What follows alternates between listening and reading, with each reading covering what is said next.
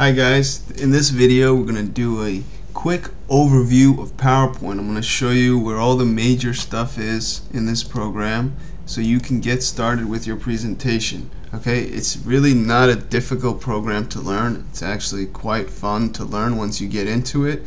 But I know initially people when they don't know the structure of a program it's they're kind of reticent to jump right in so this video should give a, uh, an overview and then you could maybe move on to more advanced topics. So let's just do a run through. Over the top over here in Microsoft programs, you got this these ribbons going, right?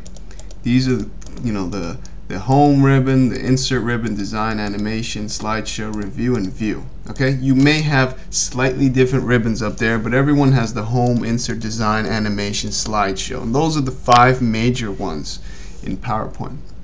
Let's start with the home and let's look at the general structure of the, the layout of a uh, PowerPoint uh, when you just start. Okay, so here down the left side you have your slides. Okay, so this slide right here is a miniature thumbnail, if you will, of this slide that I'm working on over here. So if I title this new presentation, okay, you can see it's also typing it over here. Okay? So the way you add a new slide is under the home ribbon, new slide, you can just click the over here or you can click down here and actually simultaneously insert a new slide with a certain theme okay I like to start with blank or if I know exactly what I want maybe I just want one with the title at the top so it'll insert it in you see slide 1 slide 2 over here right? So I go to slide 2 and I'm over here. So this let's just call this for argument's sake slide 2 of my presentation right? And you can see I could flip through slide 1 and slide 2 right? Now I could add another slide Let's start, let's add a blank one. You see, since I was on the first slide and I added a new slide, it slipped the slide in between these two slides, okay? I can also delete a slide. Delete a slide from the left side. Just click on the slide and hit delete, not backspace, delete, okay? So now I'm down to two slides, right? I'm just gonna add a third one. I'm going to click on the second one and add a blank one so it'll add it after the second one so I have three slides here and let's say I want to add a picture onto this one, okay? Which will transition us into the next ribbon here. Before I move from the home ribbon to the, the insert ribbon, okay, I want to just maybe touch on these other uh, options you have here on the home ribbon. Basically the stuff you're used to seeing in Microsoft Word, Excel if you're used to that, okay? It's the fonts it's the uh, you know alignment of, of text. It's adding shapes you know? Over here we can add shapes. That's always fun right? And all the the options of all those things are over here okay so this is stuff you should be used to this is the quintessential what we covered in this section of the home ribbon is the quintessential PowerPoint section of this ribbon, the home ribbon. Okay? So let's go over to the insert ribbon now. This has a lot of useful stuff. Sometimes, let's say we'll go to slide 3, click over here on the left. Sometimes you want to add a table, right? You want to have some data. You can choose the dimensions of your table and you see it's previewing it over here on the slide. And you can add a table and you can begin to type inside, right? Column 1 and so forth right? You can also actually insert a live Excel spreadsheet, okay, in this using the same uh, under table. And the way you do that is just select that uh, Excel spreadsheet. It takes a second, but what it's doing is it's embedding an Excel spreadsheet. You see this if you use if you've if you've used Excel before, you'll you'll be quite familiar with this. So I have a live spreadsheet basically, and look, I have a formula bar here and everything. You know, I could do work in here as if I as if this was I was opened in Excel.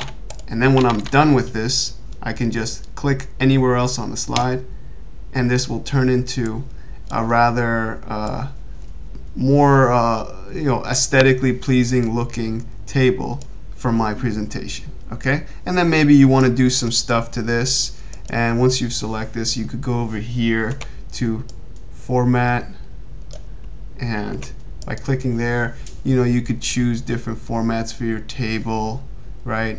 And you could also maybe adjust the size of the font by going over to the home ribbon and highlighting things right? So this is all things you can do. I don't want to go into the details of this but you should know that you can embed an Excel spreadsheet into a PowerPoint presentation like this okay? Now let's add another slide. We go to home new slide. Let's add a blank one. Let's go back to the insert ribbon and continue. We can add a picture. Click on picture and PowerPoint will allow us to search our computer and we can just find some pictures and throw them onto our presentation okay? So how about a picture of the great astronomer okay? So this was a picture from my file. I just found it use from insert picture and I added it okay? And you could resize it once it's in here make it bigger smaller move it around okay? You may even be able to drag it onto a different slide move a slide around and so forth okay? That's how you add a picture. That's a key one because everyone needs pictures. Here is clip art which I'm not going to go into right? And shapes all bunch of stuff charts text box is important. Text box let's say I want to write here you know uh, slide 4 right? I need to first insert a text box because it's not like a document where I could just type anywhere. First I have to always insert text box. Draw the text box start typing. Then click off click on when I want to edit anything resize it move it around. I could even spin it around and do all kinds of fun stuff with it. I encourage you to play around with things like this, okay? Now that you know where it is, okay? So, that's a text box, that's very important. Next, we can add header, footer, word art. This is all stuff that you might or might not be familiar with with Word. Less often used, so I'm not going to go into that stuff. I'm just trying to hit the highlights here. Third thing I'd like to cover is adding a movie. Here, you can add a movie from a file. So, just like we added a picture, you could find your movie, right? And you can, for example, I can add one of my tutorial videos that I've done recently. This might take a second, so I want it to be played access I mean PowerPoint will tell how ask me how do you want the movie to start in the slideshow? So I can say play it automatically when the slide starts or I can say when I click on the video okay? I might want control when I'm doing the presentation so I'll click when clicked okay? Now I probably need to resize this because it looks like it's much bigger than my slide okay?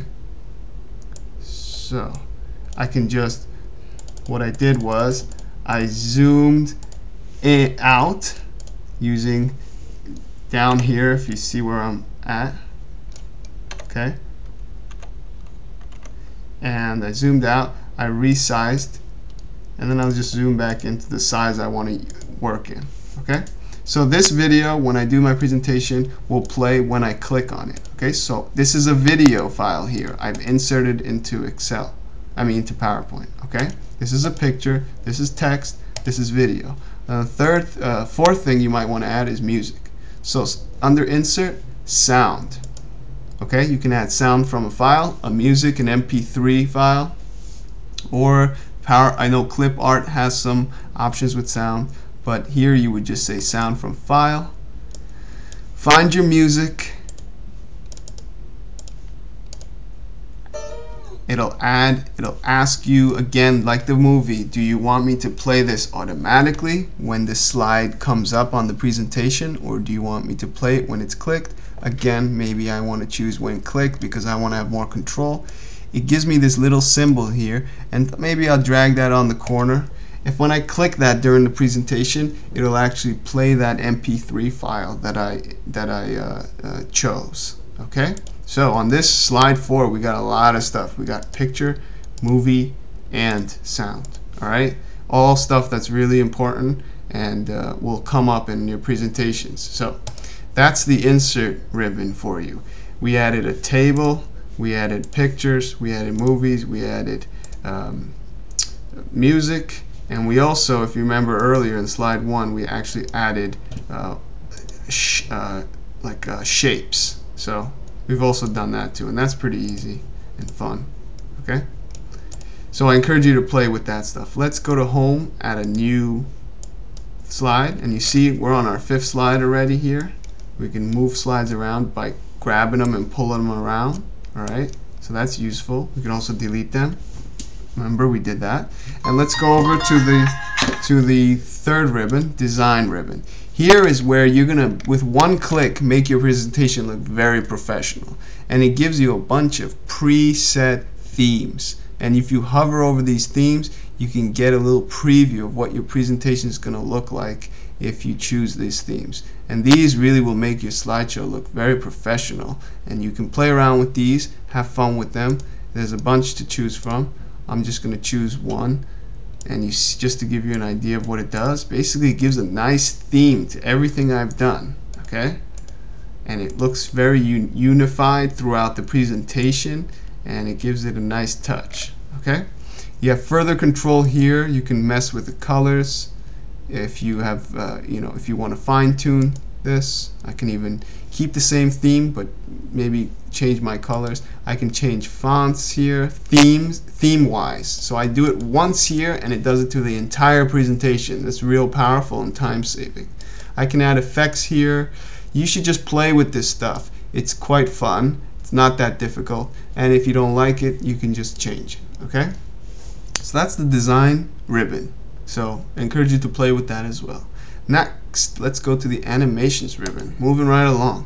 Here, you're going to be able to do custom animations on objects in your slides, okay, as well as font. So people that have people, if you have seen nice PowerPoint presentations, have font flying in or or uh, maybe uh, appearing out of nowhere, disappearing, flying in and out. Okay, this is where it's done. You could highlight the objects that you're interested in animating. You click on custom animation and then over here you can add effects. Entrance effects, right? Emphasis effects, exit effects, and motion paths. I encourage you to play with these. They're all fun and easy to use. I'll just show you one, a fly-in. So you see it gave me a little preview, okay? So I added a fly-in effect on this text over here. All right. If I add a, let's say, let's make it box, it'll preview that. Okay. So play with this stuff. Okay. And you can and you can animate each thing on a slide separately, and the, you can control the order. That's a whole different tutorial altogether. I just want to present this to you so you know what's out there, what tools you have. Okay, so that's the purpose. The purpose of this video is just a uh, high-level presentation. Okay, now back to the animations ribbon. In the center portion here, we have transitions. Now transitions are how one slide goes to the next slide. Okay, so transitions go between slides. So if you select slide two, you can select the transition like uh, this one, dissolve, and so this is how slide 2 will show up. You can also use wipe transitions. You can play around with all these and I encourage you to do so.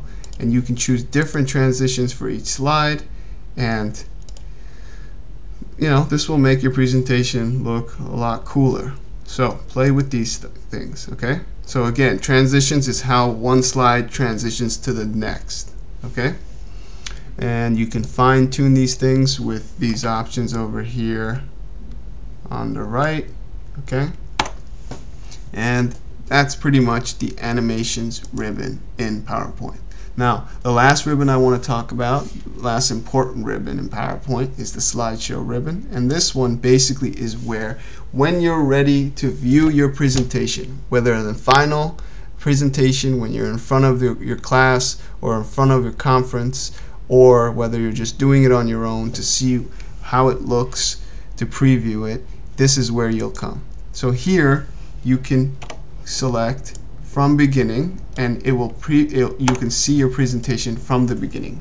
Now for purposes of this capture I can't use this option because it opens it in a new window.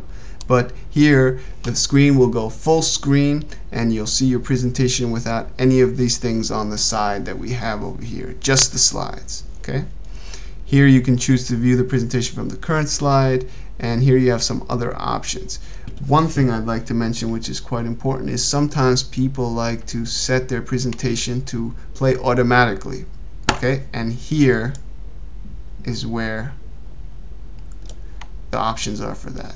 So basically what this is going to do is it's going to take you through your presentation and give you control like kind of like a stopwatch where you can say next slide and and PowerPoint will record how many seconds each piece is played.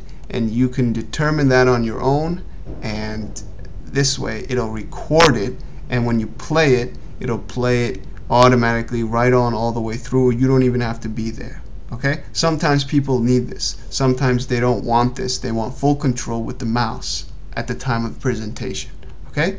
So I think I've went through about 80% of PowerPoint. The, the, the remaining 20% are the nitty gritty stuff that will take many more videos to cover, but I can go into a lot more detail on all the stuff that I did today uh, in subsequent videos. So I hope you got a good understanding of how to use the program. You can jump in, play around, get your hands dirty, and make sure to subscribe to my channel because I do a lot of tutorial videos on Microsoft Excel, Microsoft Access. I'm going to do more on PowerPoint and I also do math tutorials. If you subscribe, you get the most recent videos directly without having to search around and watch different people's interpretations and tutorials. So if you like my style, make sure to subscribe and we'll go into more detail with all these subjects.